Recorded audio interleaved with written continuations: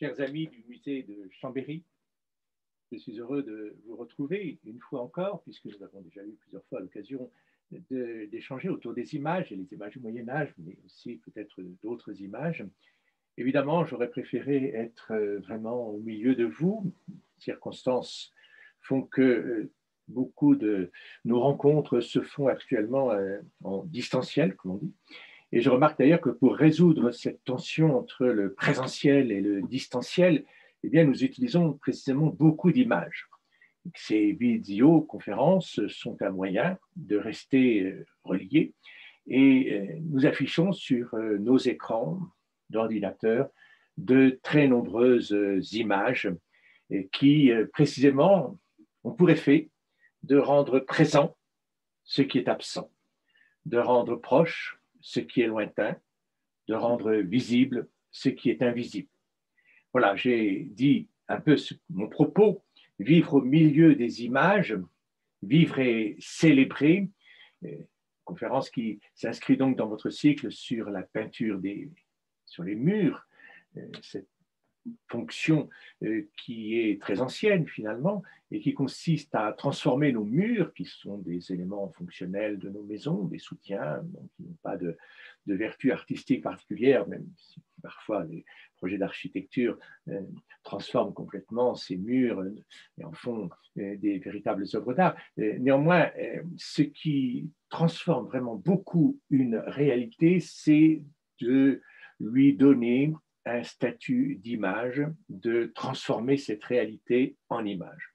Je vais m'intéresser finalement à cette euh, production euh, d'images. Pourquoi euh, nous produisons autant d'images depuis que l'humanité est humanité?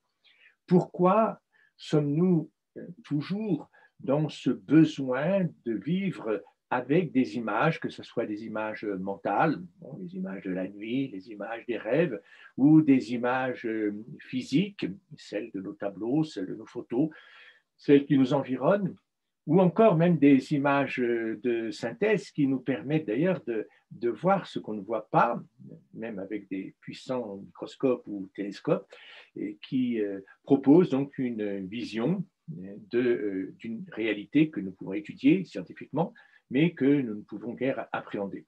Il y a d'ailleurs une très grande proximité entre les images de synthèse et les images destinées à la spiritualité, aux religions, qui précisément nous permettent aussi d'accéder à cette part euh, d'invisible. Nous vivons donc au milieu des images et nous entretenons avec ces images une relation vitale. Ces images, finalement, sont extérieures à nous, mais font partie de nous, puisque nous les intégrons euh, pour euh, euh, progresser dans la connaissance, pour avoir accès précisément aux réalités mystérieuses. Quand je dis vivre au milieu des images, on pourrait même dire que ce sont les images qui constituent notre milieu de vie. Et impensable, somme toute, de euh, concevoir une vie sans cette part d'imaginaire, sans cette part d'excroissance de nous-mêmes qui euh, nous permet finalement, d'une part, de nous projeter, puisqu'il y a une bonne part de nous-mêmes, de notre réalité qui apparaît dans les images, mais aussi euh, de projeter dans ces images la part d'invisibilité. Finalement, ces images sont des médias. Médias, c'est très proche de milieu, c'est-à-dire sont des intermédiaires, des intermédiaires entre précisément ma réalité et puis la conception, l'idée, la vision que je veux m'en faire. La vision dans le phénomène humain est quelque chose de très complexe. La seule chose que nous ne voyons pas de notre visage, ce sont les yeux, nos yeux. Et nos yeux nous permettent de voir. C'est assez paradoxal. Euh, finalement, on a toujours deux idées euh, dans le fonctionnement de la vision. Euh, une idée un peu mécanique, comme quoi c'est l'extérieur qui rentre dans notre œil et la réception à ce moment-là des impressions, on n'en est plus à, concevoir qu'il y a une image un peu dans le fond de la rétine comme dans l'appareil photographique, mais malgré tout, il y a quelque chose qui vient de l'extérieur et qui rentre en nous et qui nous permet d'appréhender la chose extérieure, de prévenir un danger, d'évaluer la distance, euh, de euh, mesurer finalement euh, notre position exacte dans un environnement qui nous paraîtrait hostile. Par exemple, si c'est la nuit, si on ne voit rien, à ce moment-là, on est très apeuré, très angoissé, on ne peut pas se déplacer, on, se cogne, à moins d'avoir un sixième sens ou encore d'autres facultés de vision nocturne. Voilà, donc il y a premièrement cette réception. Mais on sait aussi et les Grecs l'avaient déjà dit, que l'œil produit des images. Il n'y a pas qu'une réception passive. Euh, l'œil lui-même euh, fabrique une vision qui se projette à l'extérieur de lui-même. Euh, l'œil n'est pas simplement le récepteur d'impressions extérieures, mais aussi le producteur de ce que nous comprenons. Finalement, c'est un peu ce qu'on dit quand on, au terme d'un échange ou d'une euh, démonstration mathématique un peu laborieuse, on dit je vois. Ah, je vois, ça y est, j'ai compris. Eureka presque. Eureka, j'ai trouvé, je vois. Qu'est-ce que je te vois? Qu'est-ce que vous voyez? Qu'est-ce que nous voyons? On ne sait pas, ça reste très mystérieux parce que cette vision mais intérieure. C'est d'ailleurs tout le phénomène de la création artistique. Euh, bien sûr que l'artiste est là dans une relation extrêmement complexe entre l'extérieur qui l'impressionne, qui va euh, susciter peut-être son inspiration. Euh, tous les artistes travaillent finalement avec un modèle, avec une nature, avec des éléments qui sont disposés devant leurs yeux. Mais finalement, quand on regarde le tableau, il y a peu de rapport entre ce qui est dans le tableau et ce qui est dans la nature. Il y a évidemment une transformation totale qui s'opère par cette production d'images qui n'est évidemment pas la reproduction du réel, mais bien son interprétation. Et c'est là où l'image joue son rôle de média, c'est là où l'image provient de moi-même, de cette puissance de créativité qui est en moi, cette puissance d'interprétation du réel qui fait que j'en propose une vision, que j'en propose une interprétation. Et euh, il y a bien sûr toutes les impressions que l'artiste a ressenties, mais il les ressort. Et quand il les ressort, quand il les rend dans ce très bel échange du don, la réception et du contre-don, eh bien à ce moment-là, euh, ce qui apparaît dans le tableau, ce qui apparaît dans l'image, je vais m'intéresser évidemment aux images artistiques, euh, ce qui apparaît à ce moment-là est de l'ordre d'une nouveauté totale. Personne n'a jamais vu ce que Gauguin a peint avant qu'il ne l'ait peint. Personne n'a jamais vu ce que Léonard de Vinci a voulu montrer avec sa Joconde avant qu'on ne voit cette Joconde. Et on a beau chercher le modèle de la Joconde, on ne le trouvera jamais parce qu'effectivement, ce véritable modèle est dans la conscience intérieure, dans la vie intérieure de l'artiste qui nourrit, bien sûr, de tous les apports extérieurs, les restitue dans une révélation, une démonstration, une monstration de ce qui n'était encore jamais apparu. Alors, il faut considérer effectivement l'image dans cette fonction double, une fonction effectivement de miroir par rapport à la réalité. Et d'ailleurs, on en reste souvent là parce que euh, nous mesurons souvent la qualité des images à leur ressemblance à la réalité.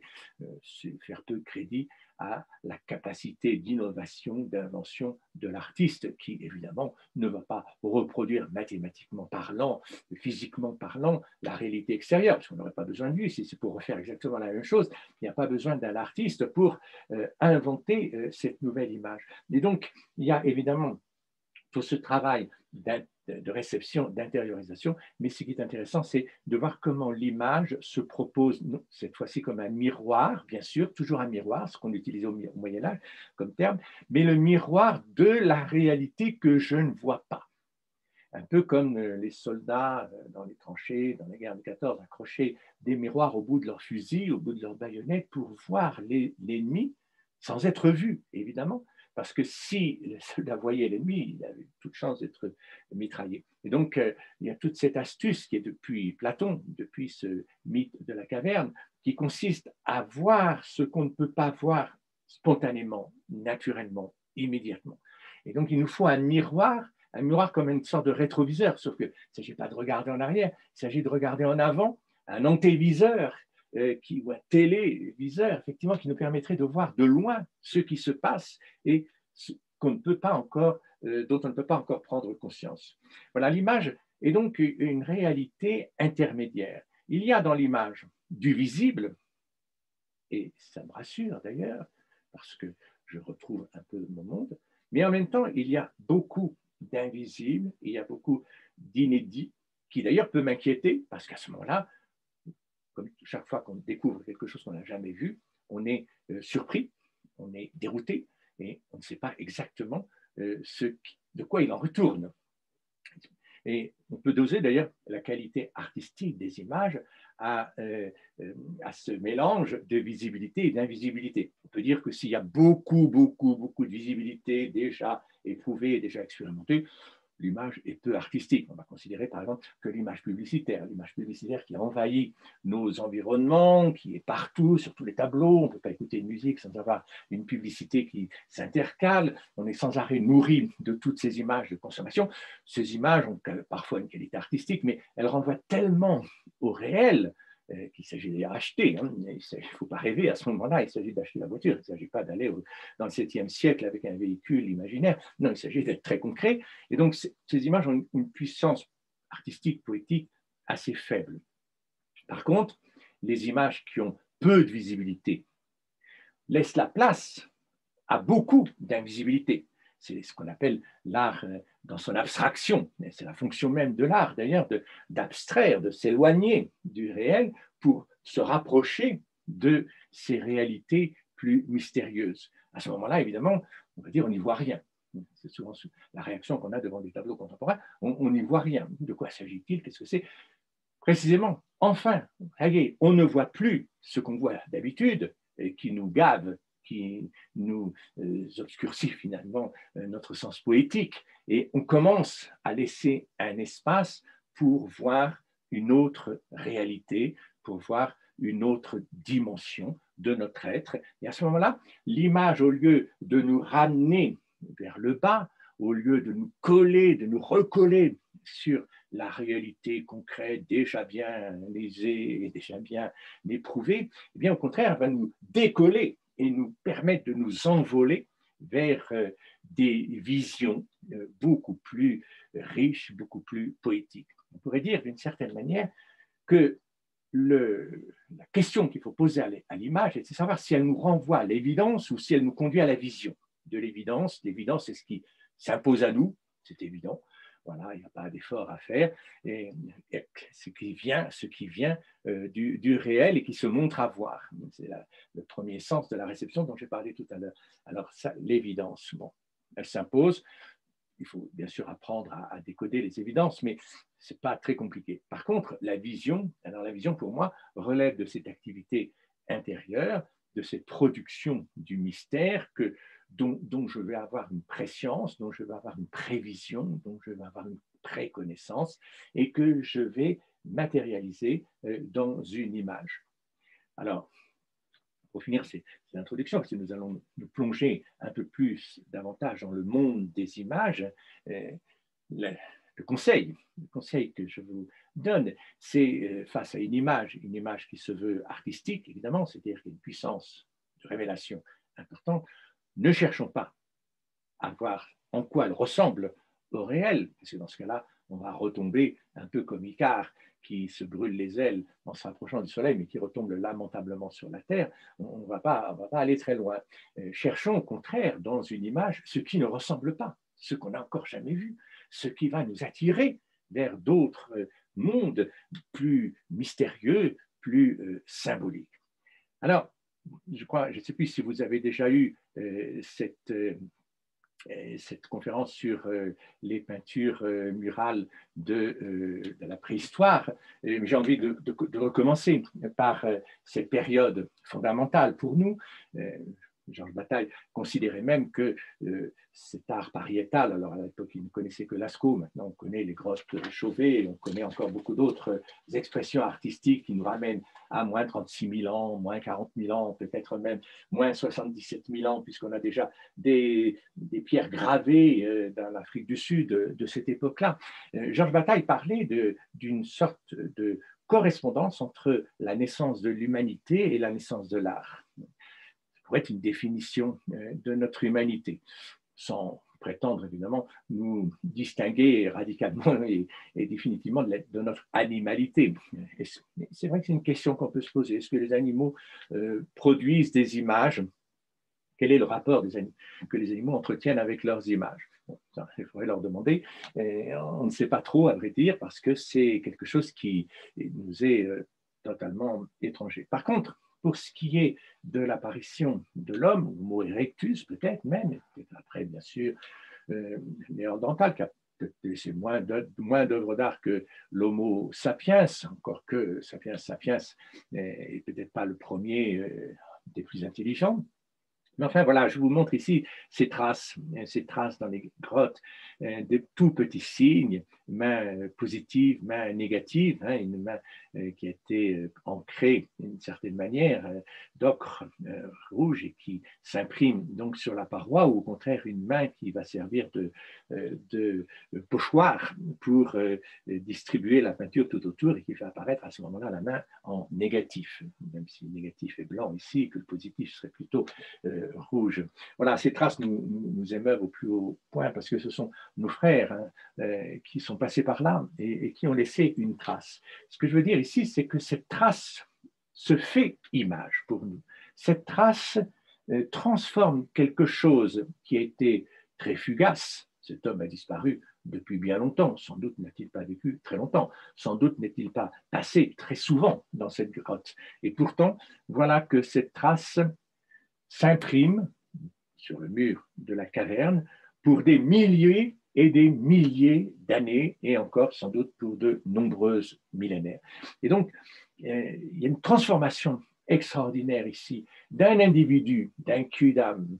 Quel était son nom? Quel était son âge? A-t-il vraiment une identité? A-t-il conscience même de cette identité? Bon, tout ça est très mystérieux.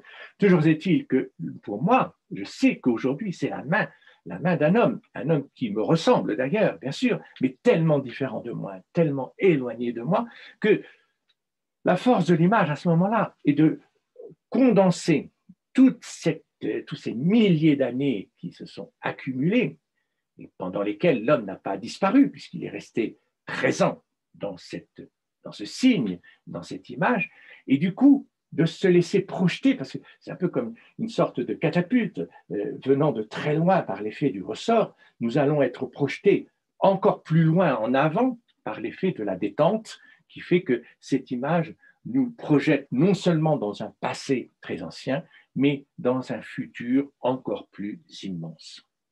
Donc, cette image transforme une réalité qui a disparu, et il faut d'ailleurs qu'elle ait disparu. C'est imaginer que l'homme reste là avec sa main collée à la paroi.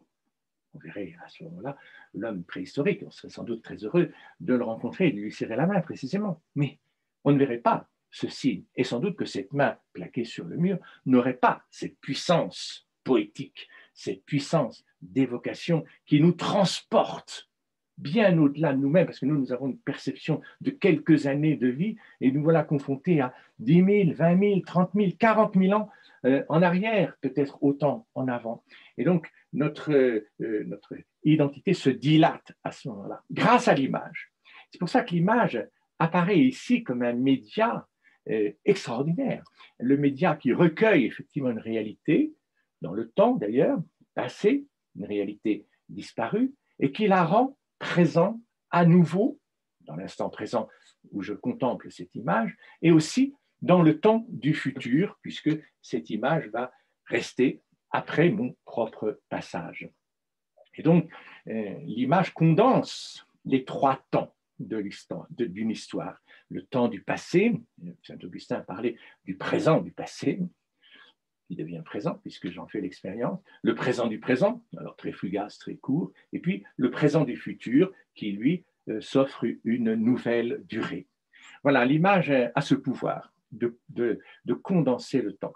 Le temps, réalité que nous ne pouvons absolument pas maîtriser. Personne ne peut arrêter le temps, le ralentir, l'accélérer.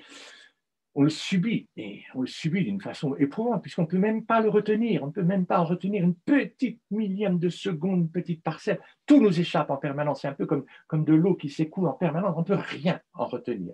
Seule la fixation par l'image de ces expériences du temps dans l'espace nous donne d'avoir une perception de la durée, une perception du temps dans son passé, présent et futur.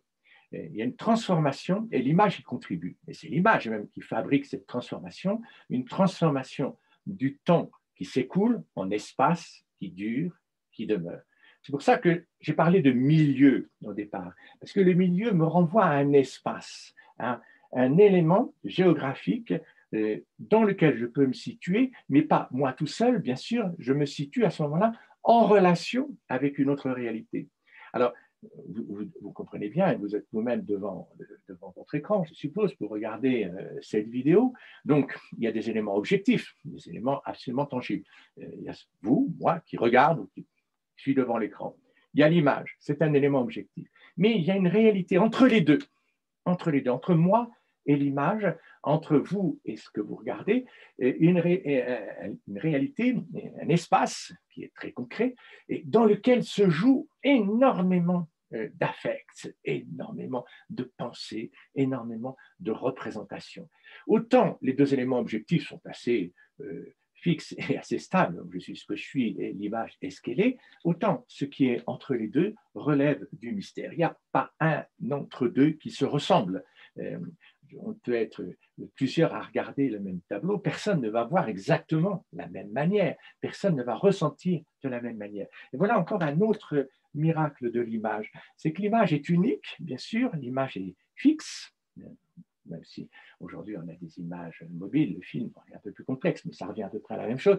Euh, l'image est là, c'est un être là, dirait Heidegger, hein, c'est un Dasein, de même que moi, je suis aussi un Dasein, mais entre les deux, ça Heidegger a moins étudié, entre les deux, il y a euh, quelque chose qui est extrêmement mouvant, extrêmement mobile.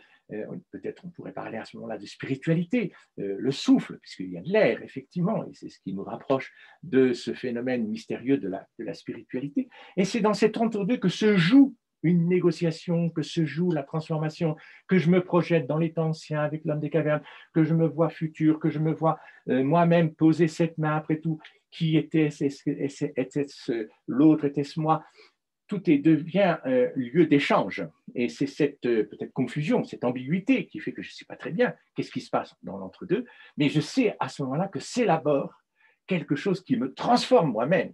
Alors j'ai parlé au début du fait que celui qui produisait l'image ou le regardeur qui regarde l'image était relativement objectif et relativement stable, mais non, finalement, par l'image, je deviens moi-même cette réalité imagée.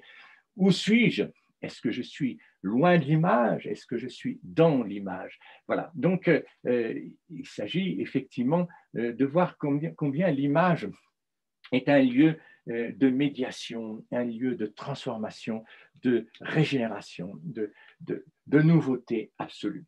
On pourrait d'ailleurs euh, compléter euh, avec toutes les recherches de Michel Foucault. Je vous conseille vivement de lire et de relire, parce que franchement, c'est un texte fondateur. L'introduction à son ouvrage majeur, Les mots et les choses. Il se trouve que pour introduire cette notion qui existe entre la chose, donc la réalité, et le mot, le mot qui, à ce moment-là, est considéré par Foucault, surtout, comme une image, une image de la chose réelle. Mais évidemment, tout le monde sait bien que, comme l'a dit Magritte, euh, la pipe n'est pas dans le mot. Ceci n'est pas une pipe, ceci n'est pas un taureau, n'est pas un auroch, n'est pas un muret. Les peintures que je vous montre en ce moment des grottes de Lascaux renvoient bien sûr aux animaux, euh, les grottes de Chauvet, renvoient bien sûr aux animaux qui vivaient y a 36 000 ans, mais ce ne sont plus ces animaux-là. Et donc on est obligé d'utiliser la négation. Et voilà que dans ce phénomène de la représentation, la présence première est niée, elle est détruite, elle est absente, elle est morte, perdue pour toujours. On ne pourra jamais la retrouver en tant que telle. Par contre, la représentation. Et là, tout est dans le préfixe re, le, redoublement, dans cette représentation qui est une autre réalité, rien à voir avec la première. Ça n'a pas la masse, ça n'a pas la, corpulence, ça ne bouge pas, etc. Évidemment, tout le monde voit bien la différence. Mais nous-mêmes, euh, quand nous travaillons devant ces images de la préhistoire, c'est notre imaginaire c'est notre, notre propre production d'images qui se met en route. Et donc, grâce à ce travail de la représentation, nous pouvons nous-mêmes nous mettre en mouvement et sortir peut-être d'une certaine immobilité qui est celle de l'identité en tant qu'identité. Je suis ce que je suis. Bon, on va pas très loin une fois qu'on a dit ça. Et, on a un réflexe identitaire. On, voit bien combien euh, les réflexes identitaires consistent précisément à, à fixer l'être, à fermer un peu les frontières, à empêcher l'imaginaire euh, de se développer. Eh bien, sinon, ouvrons les vannes, laissons-nous euh, nous échapper euh, dans cet autre monde.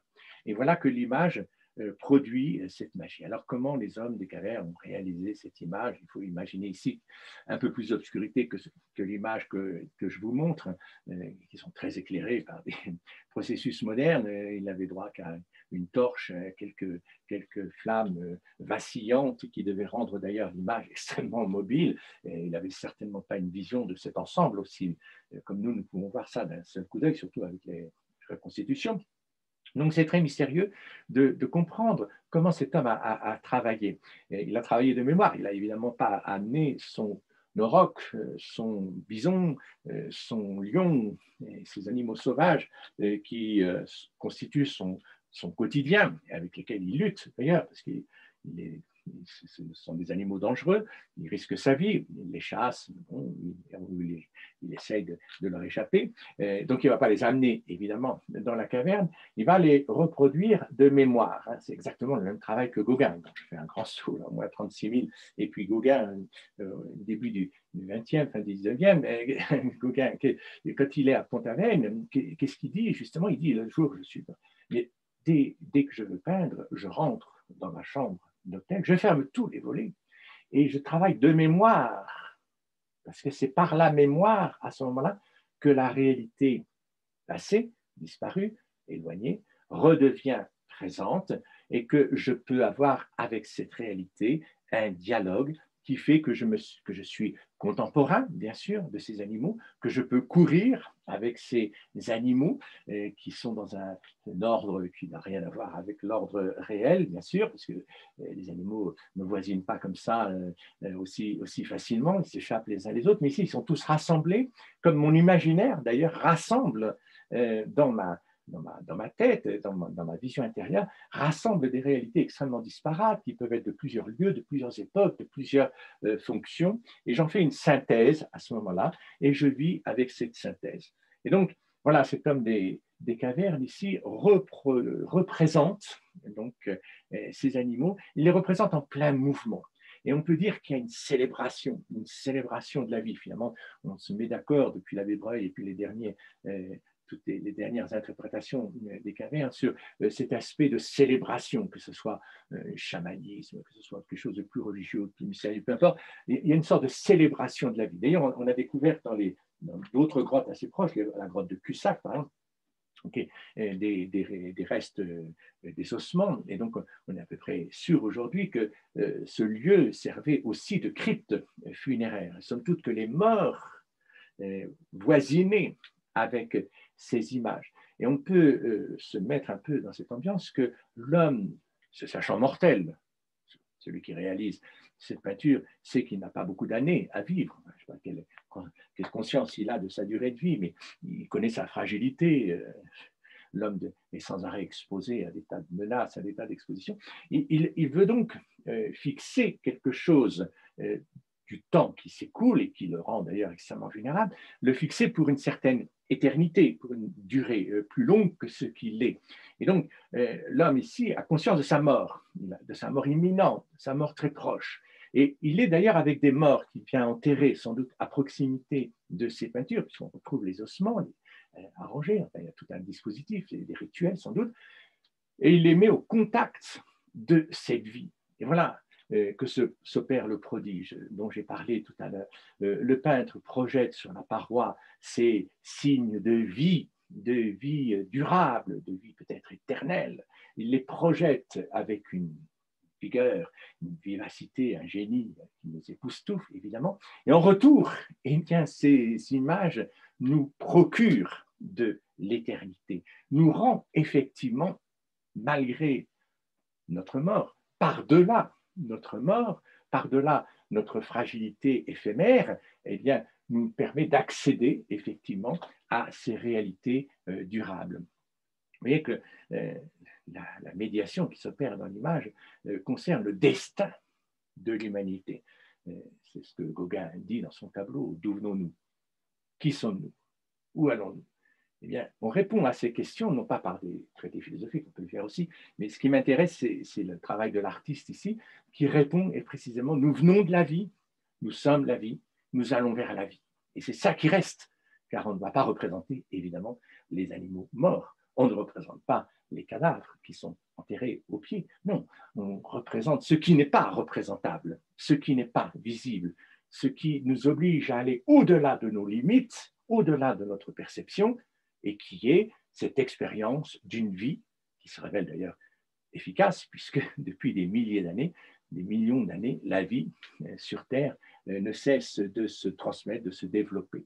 Voilà, donc euh, on célèbre cette beauté d'une vie toujours jaillissante par des images qui vont créer à ce moment-là un environnement dans lequel je me, je me plonge, je vais baigner dans ces images éclairées par des torches. Je vais peut-être venir à plusieurs dans ce lieu sacré, un lieu qui ressemble, somme toute, à une matrice. Je suis là dans l'antre de la terre, un peu comme dans le ventre euh, de ma mère.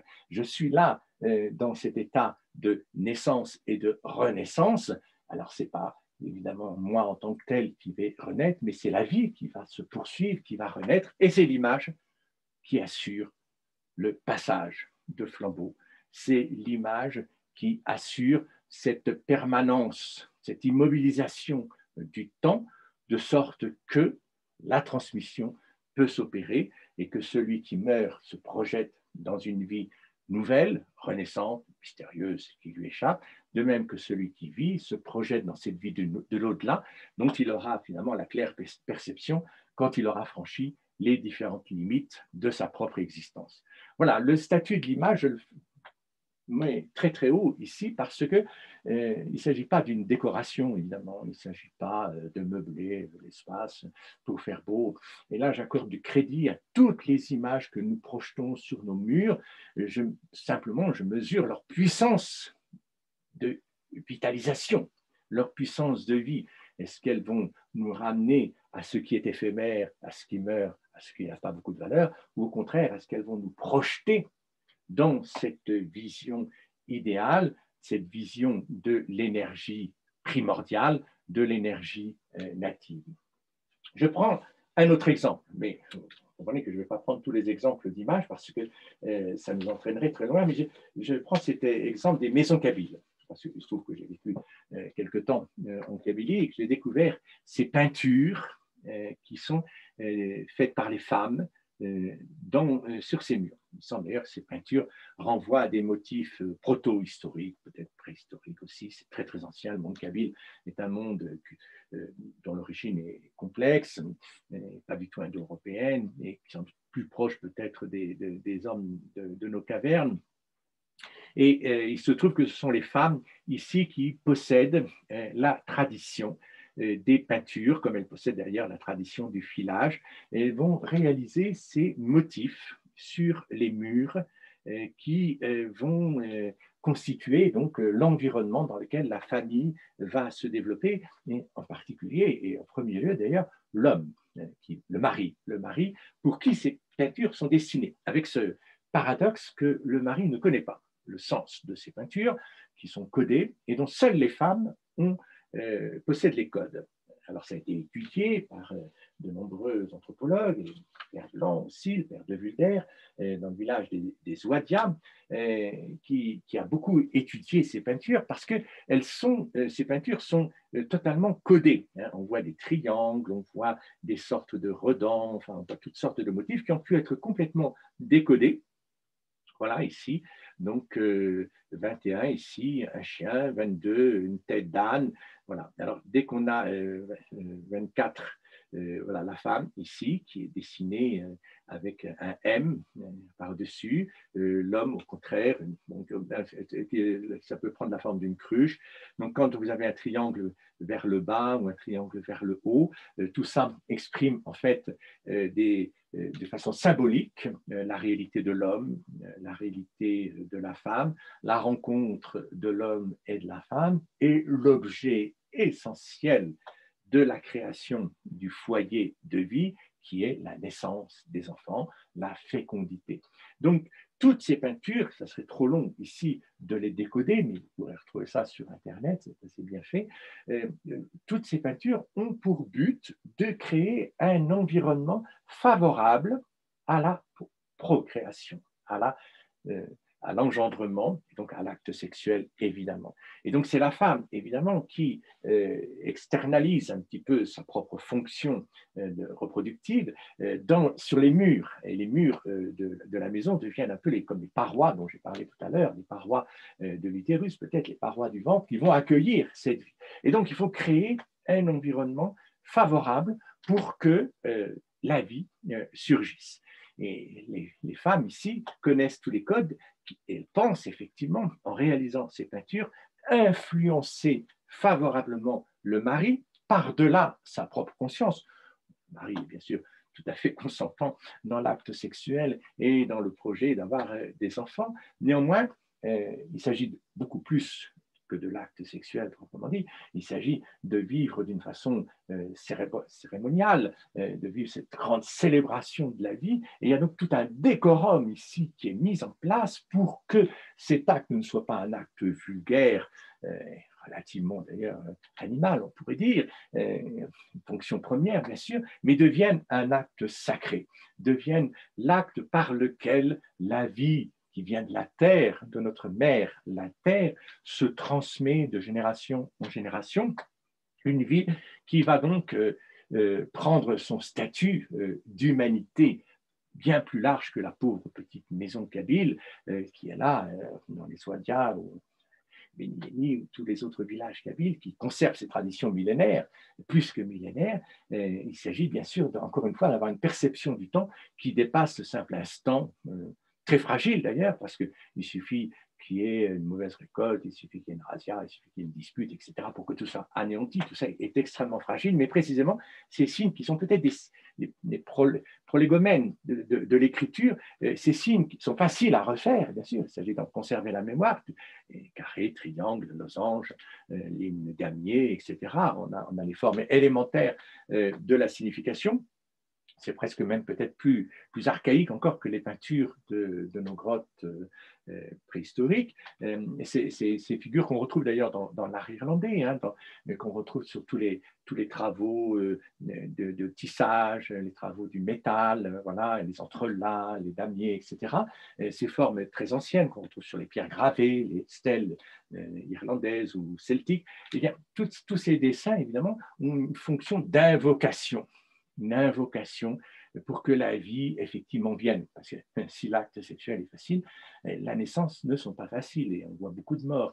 Et ce n'est pas évident d'assurer euh, euh, la transmission de la vie. Et donc, il y a tout un, tout un environnement, tout un cérémonial qui rend effectivement euh, cette fonction, qui, la, qui, la, développe à un niveau de, de, célébration mystérique. Et donc, ce Père Blanc qui a beaucoup étudié les pratiques murales, les peintures murales et les pratiques magiques, justement, dans la tribu des Suadia, dit que ces décors muraux qui sont réalisés par les femmes rappellent, évoquent un rite, un événement, que ce soit le mariage, la naissance, la vie de la maison.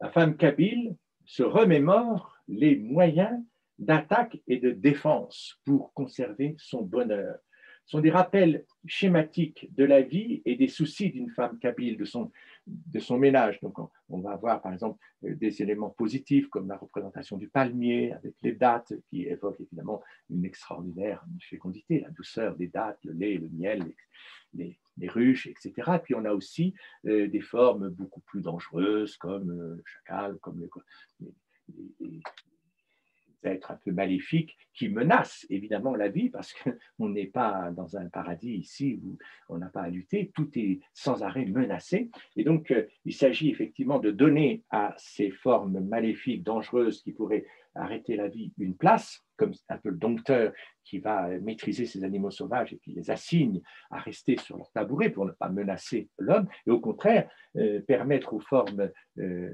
plus fécondes, aux formes de la générosité de se développer, alors qu'elles sont peut-être menacées par euh, les, les, formes plus sauvages. Donc, les rappels schématiques de la vie et des soucis, ils ont pour but de rappeler tous les rites magiques, superstitieux, qui peuvent, d'après ces croyances, rendre les femmes, les mères, heureuses ou malheureuses. Et euh, c'est à cette comparaison qui me touche parce que, évidemment, ça permet de faire la transition avec euh, la partie suivante. Nos ancêtres, dit-il, nos ancêtres, nos ancêtres du Moyen-Âge, dans les vitraux des cathédrales, apprenaient l'histoire de leur religion et de leurs saints vénérés. On peut voir dans cette pratique une analogie avec ce que nous trouvons dans les maisons kabyles. Et donc avec aussi l'interprétation des peintures euh, des parois.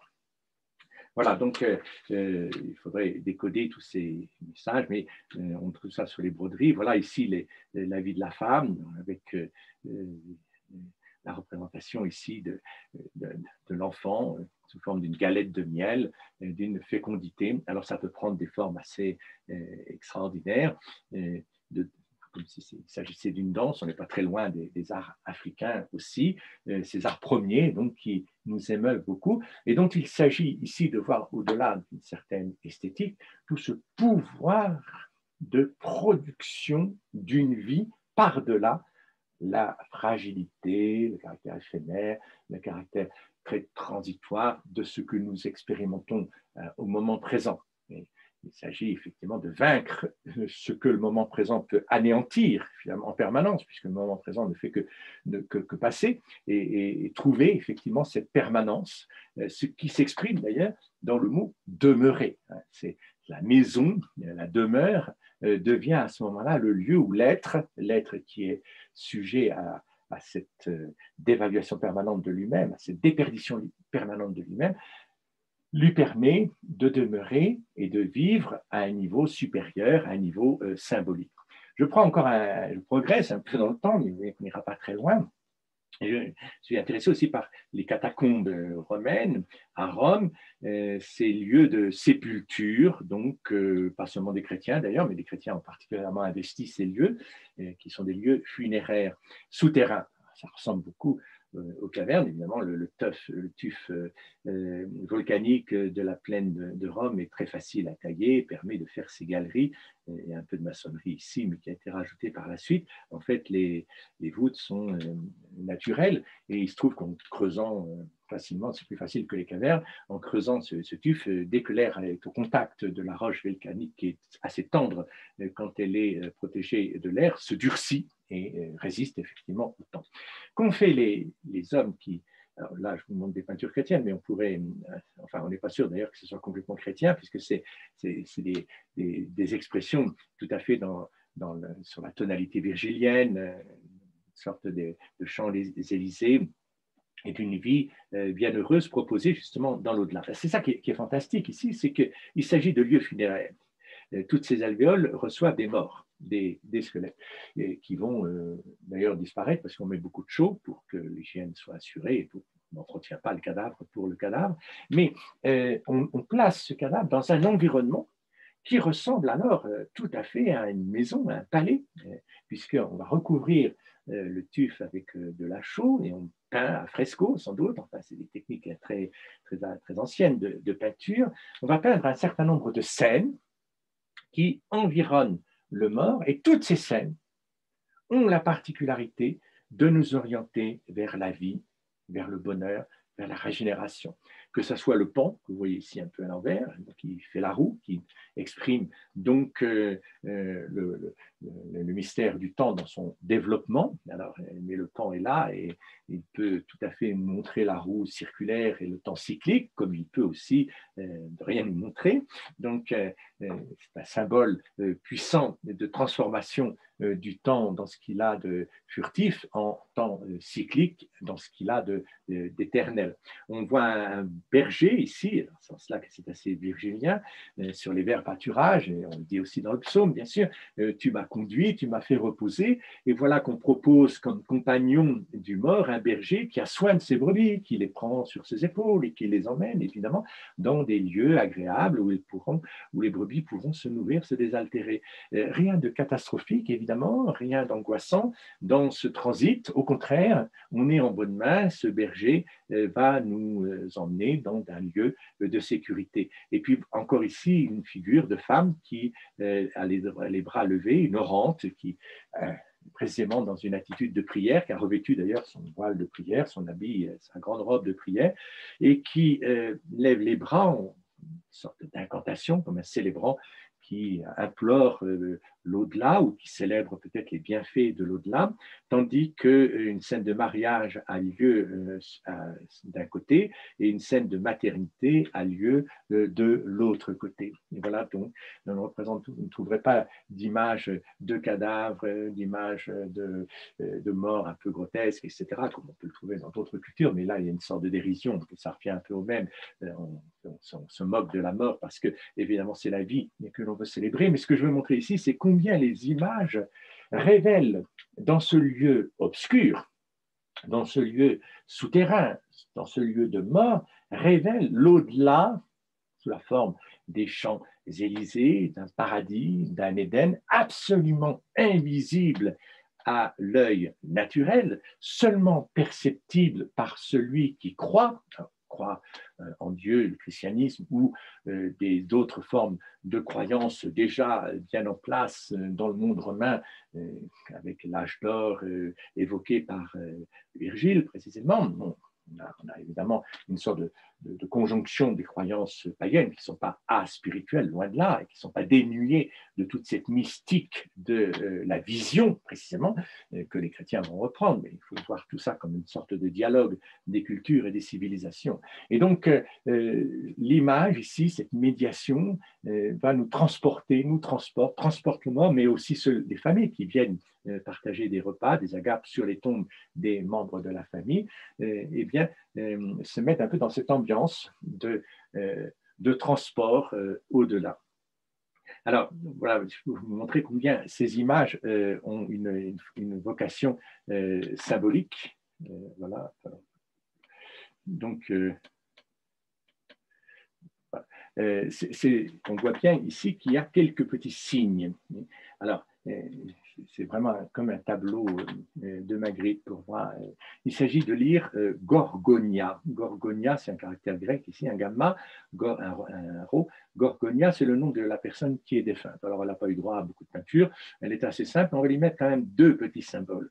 On lui met une encre, parce qu'évidemment, on considère qu'elle est en voyage, en transit, et donc elle va jeter son encre dans un port arriver au port du salut, au port à, bon port, comme on le dit dans le temps.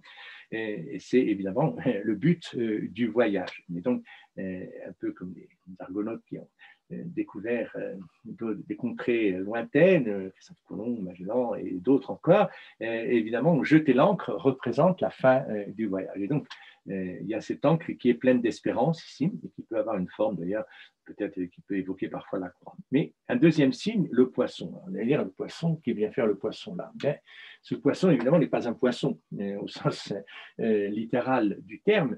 Euh, ce poisson euh, renvoie à une vision d'éternité. D'abord parce que, effectivement, c'est un aliment qui est utilisé dans les repas funéraires qui ont lieu sur les tombes on ne mange pas de viande rouge et avec du sang parce que euh, le sang évoque le sacrifice, évoque la mort et on fait des sacrifices dans les temples, à l'extérieur, sur les places publiques, sur le forum.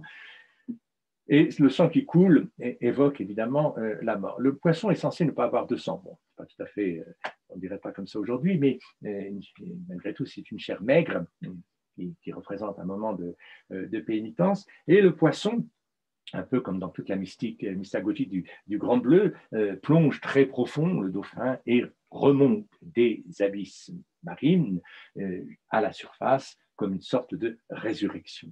Et donc, euh, euh, ce poisson, qui est un aliment euh, que l'on va utiliser quand on fait la mémoire des morts, partage des poissons, hein, comme si on voulait se mettre un peu dans cette dynamique imagée, bien sûr, symbolique, du poisson qui, plongeant dans les ténèbres de la mort, ressurgit vivant par un effet évidemment extraordinaire de, relancement. Et puis, bien sûr, que ce poisson, et on va aller jusqu'à chercher euh, les initiales ictus et on va y lire le iota, le ki, le theta et le, yos et le soter comme étant euh, l'expression de Jésus-Christ, de Dieu, le Fils sauveur.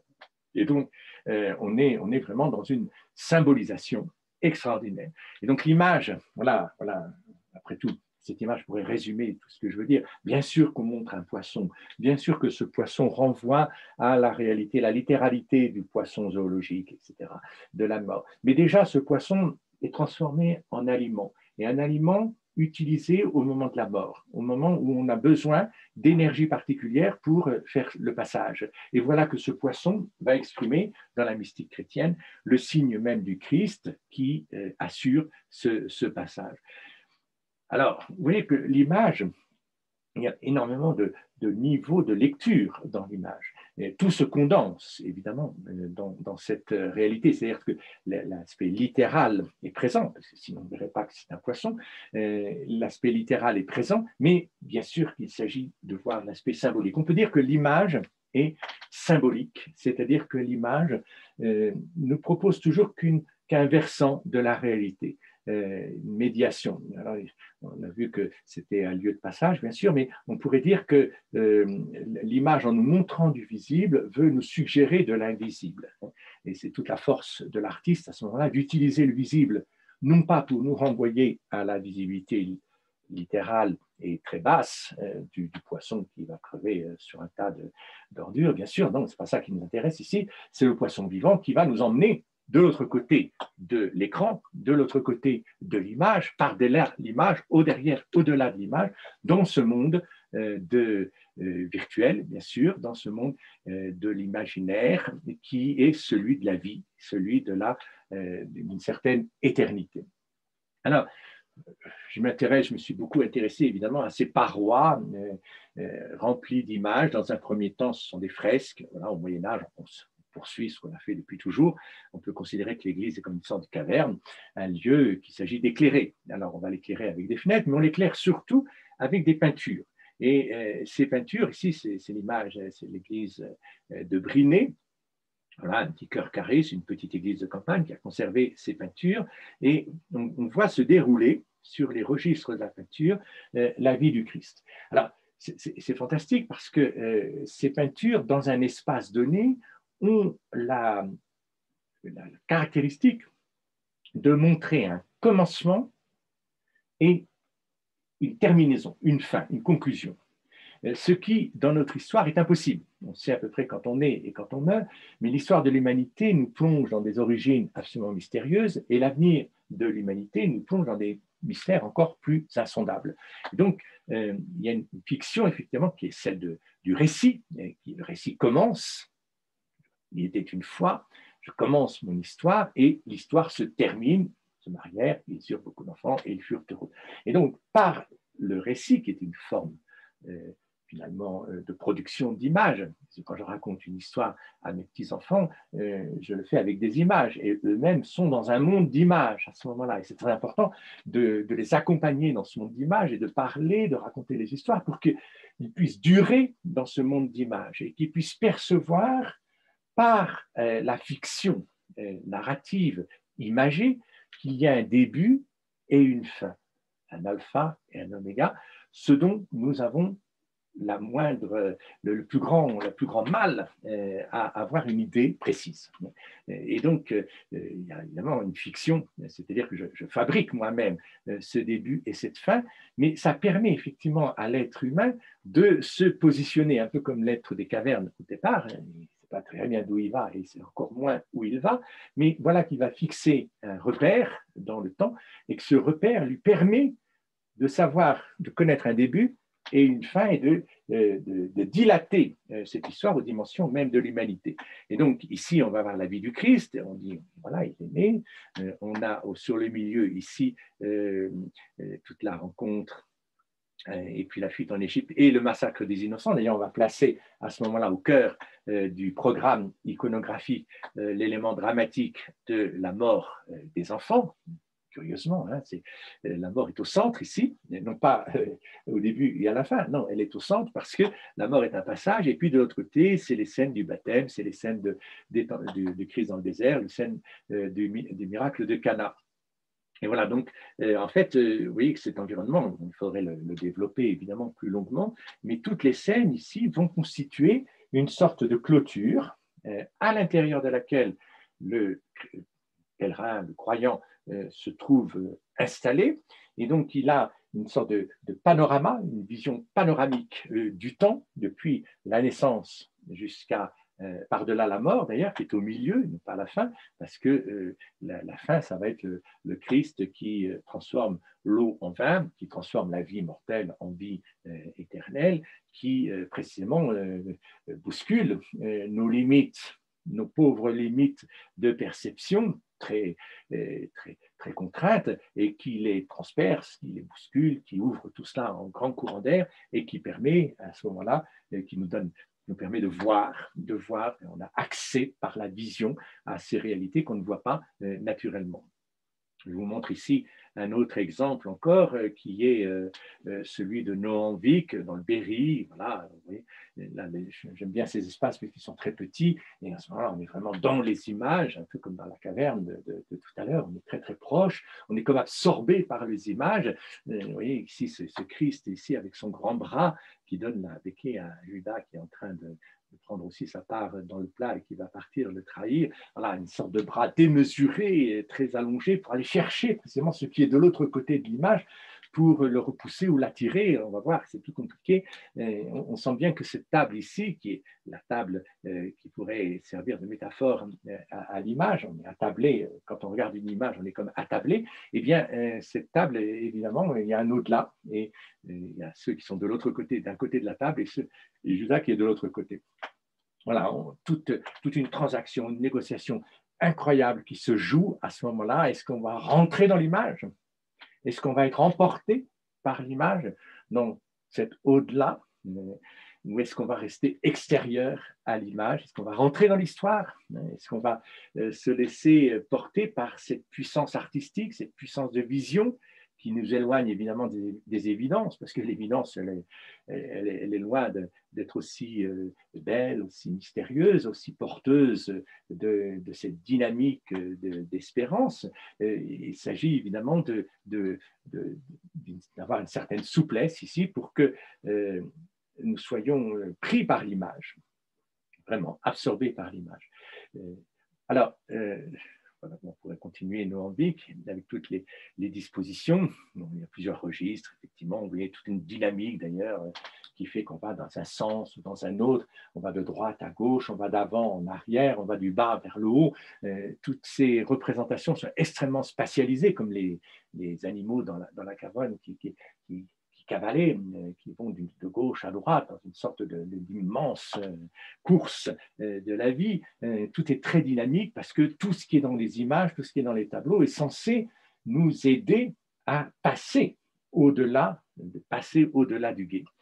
Alors, un exemple encore qui me, me beaucoup, c'est celui de Saint-Savin. On considère que Saint-Savin est, un peu le, le, Poitou est un peu notre chapelle Sixtine, voilà, et avec toutes ces peintures qui sont représentées sur la voûte. Alors, c'est très compliqué Saint-Savin parce qu'il y a plusieurs registres, et il se trouve qu'il y a un sens de lecture absolument extraordinaire quand on est dans la nef de Saint-Savin, on commence effectivement par la porte d'entrée, on va se rapprocher du cœur, et puis quand on arrive au bout du registre, on repart dans l'autre sens, ici, on, retourne vers la porte d'entrée, on lit le registre inférieur, on se rapproche à nouveau du cœur, et puis on s'en éloigne encore une, dernière fois, et on se rapproche avec la vocation de, de Moïse, ici recevant l'étape de la loi, on se rapproche du cœur. Donc tout, est conçu ici sur une, dynamique qui consiste à aller de l'entrée vers le cœur.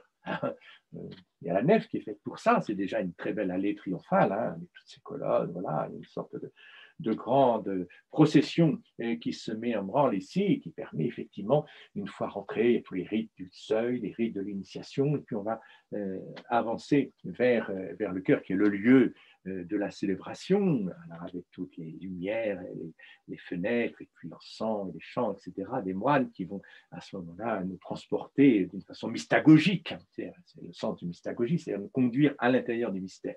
Mais il y a cette transition par la nef. Et ici, la transition par la nef est extrêmement développée parce qu'au lieu de faire simplement un aller depuis l'entrée vers le cœur, on va faire un aller et puis on revient et puis on refait encore un aller et puis on revient et puis on refait encore un aller. C'est comme dans une sorte de labyrinthe. On s'approche du cœur et puis finalement on s'en éloigne parce que c'est pas encore mûr, c'est pas encore prêt et il faut toute une initiation, toute une préparation pour euh, effectivement euh, euh, se laisser transformer par les images. Donc les images sont un peu comme des, c'est une sorte de grande matrice ici, on l'a dit tout à l'heure, mais une matrice dynamique parce qu'il s'agit de prendre le temps en même temps de la transformation. Et ça ne se fait pas comme ça en claquant les doigts, ça se fait par un long itinéraire qui est l'itinéraire de l'humanité qui fait des tours et des détours, qui s'approche et qui s'éloigne. Mais grâce aux images, on est guidé. Grâce aux images, on ne perd pas euh, le fil, comme euh, disait heureusement aussi un fil d'Ariane dans son labyrinthe euh, Minos. Et donc, voilà, il y a un fil, et c'est l'image. L'image pourrait être comparée à ce fil d'Ariane. Les images, finalement, quand elles nous prennent un peu par la main, elles nous conduisent, elles nous emmènent euh, à force de persévérance, c'est-à-dire à force d'art, hein, à force de génie artistique, elles nous conduisent vraiment, effectivement, au-delà. Quand on regarde un tableau euh, de Michel-Ange, quand on regarde Raphaël, quand on regarde aujourd'hui les tableaux contemporains, on est plus ou moins sensible, peu importe, euh, si, si le, but est de, rentrer dans le tableau, à ce moment-là, on va très, très, très, très loin.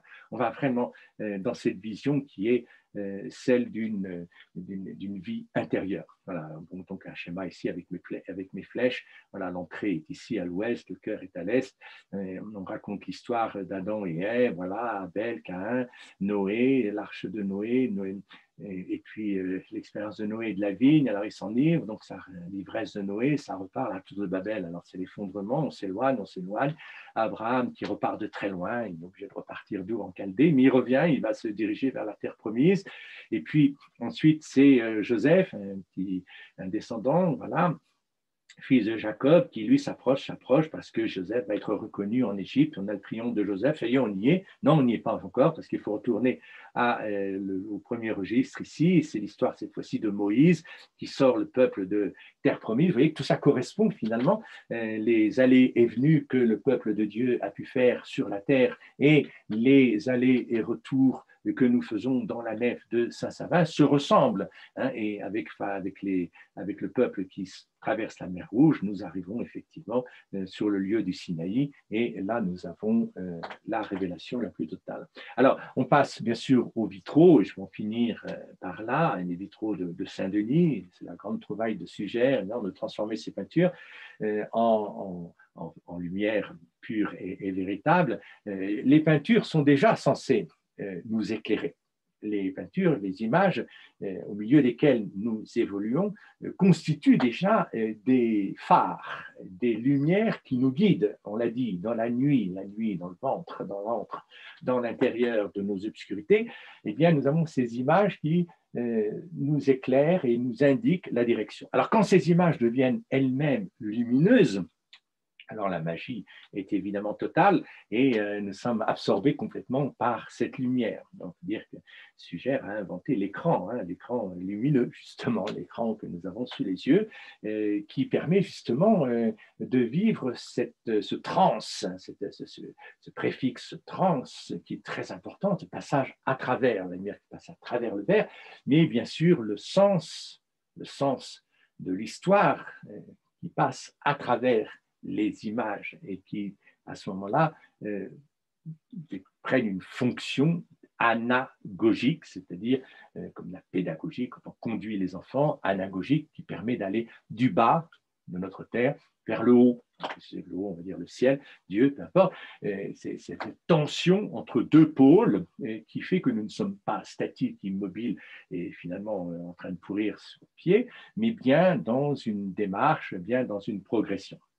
Alors que ce soit la cathédrale de Bourges ici, avec toutes ses verrières, ou euh, la cathédrale de euh, Chartres, avec ses milliers d'images. Alors évidemment, une production d'images comme rarement on en a euh, fait.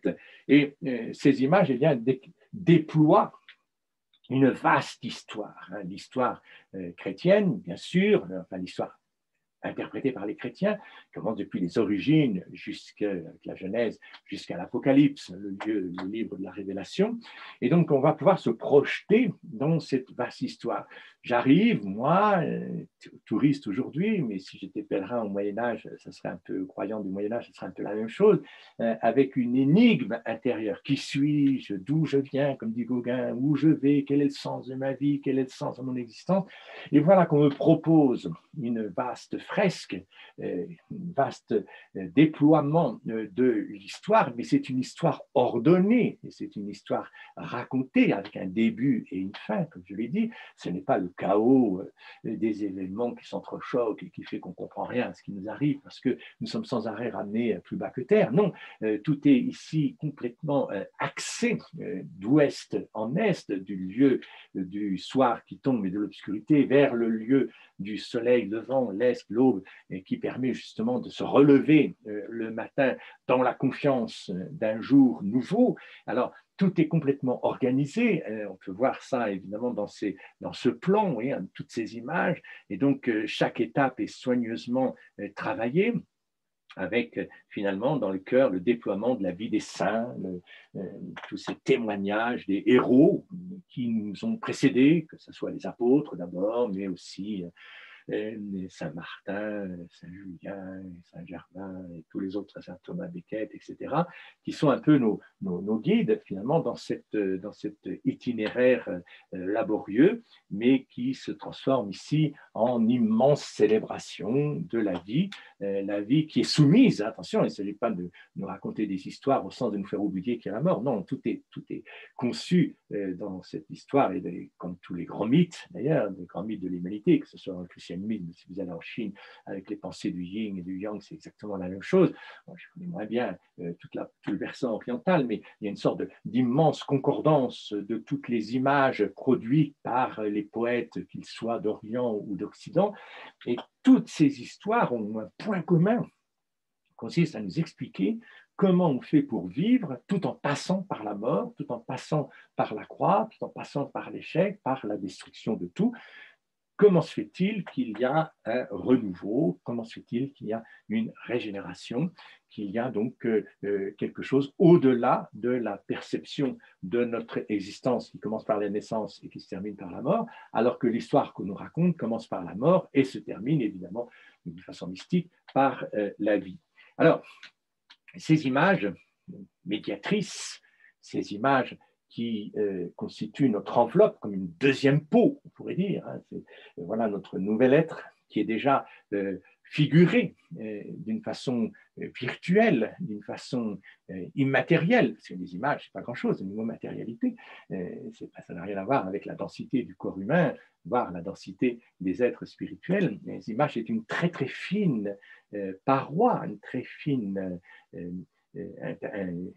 intervalle hein, qui nous permet effectivement, qui permet à, cette, à cette, médiation d'être poreuse. Hein. il ne s'agit pas de, créer un environnement euh, de fermeture, euh, tout doit au contraire contribuer à l'ouverture et la lumière en est évidemment le meilleur euh, témoin.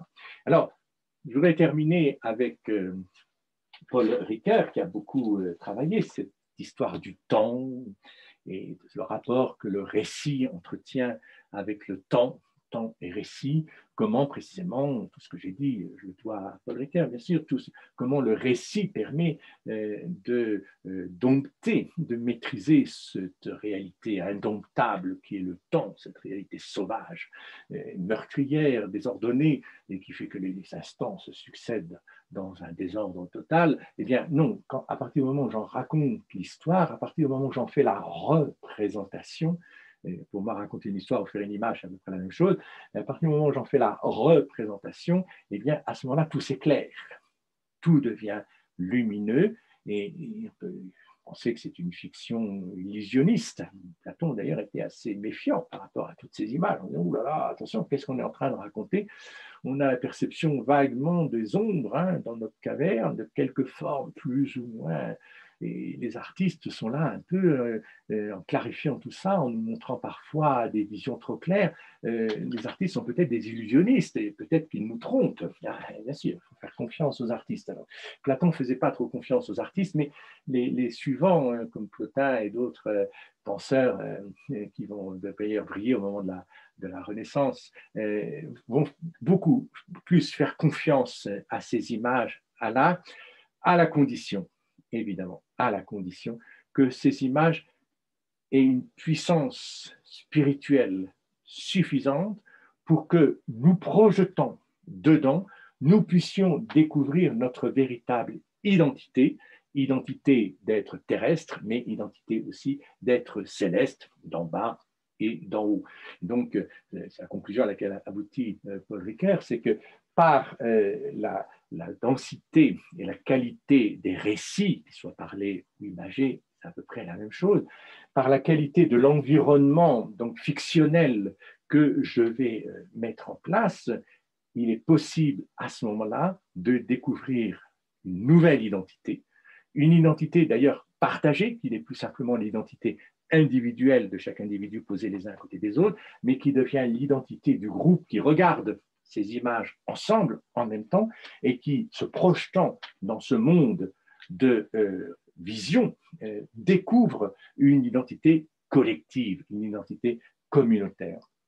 Il est évident que les cavernes, que les euh, maisons kabyles, que les catacombes, que les églises romanes, que les églises gothiques ont une fonction sociale, la fonction de constituer un groupe, un groupe cohérent, un groupe qui va euh, affronter les épreuves ensemble avec cette conviction qu'effectivement, on vient de quelque part et on va quelque part sans trop savoir d'où ni où, mais avec cette conviction que euh, le moment présent est chargé de toute la densité de l'histoire. Ah, vous voyez que ça, à ce moment-là, l'identité euh, de chacun se trouve dilatée, dilatée aux dimensions de l'humanité.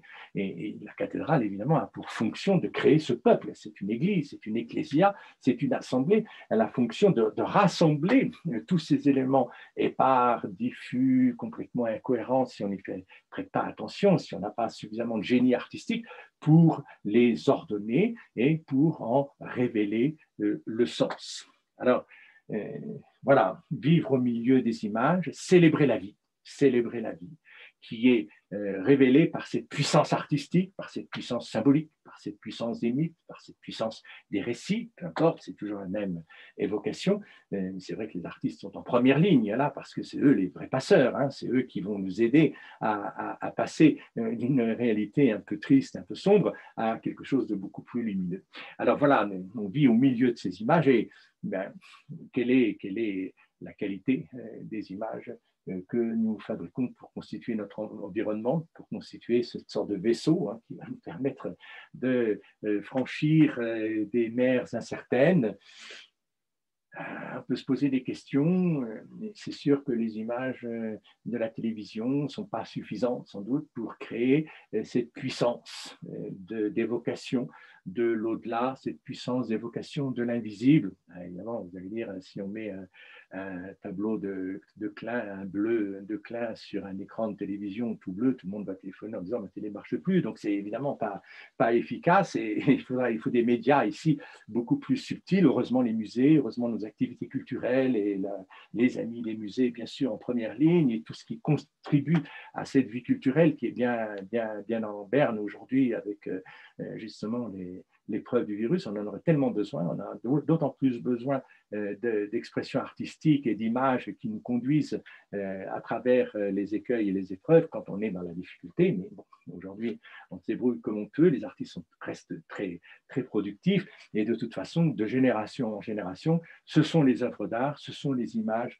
créées par le génie de l'art qui nous guident dans la vérité. Et la vérité, c'est l'au-delà de ce que nous sommes, et bien sûr par l'immobilité, par pas l'identité pour l'identité, mais cette euh, ouverture à la communication, à la communauté, à, l'histoire d'une humanité. Bon courage, euh, fabriquons des images, de plus en plus, soignons-les, restaurons et, euh, surtout favorisons la, création, si on a besoin de, nouvelles images, parce que les besoins sont tout à fait les mêmes que ceux de la cathédrale, ça sera pour notre foi, mais on pourrait voir comment euh, tout l'art contemporain est un peu euh, la figure de proue, justement, euh, de, notre, de, notre, aventure, avec beaucoup de mystères, avec beaucoup de paradoxes, mais les images sont là pour nous dérouter d'une certaine manière de nos chemins trop tortueux qu'il s'agit d'abandonner, pour nous router vraiment dans le bon axe, dans la bonne direction. Alors, bonne route au milieu des images, avec les images, dans cette puissance d'évocation artistique de l'au-delà. Je vous remercie.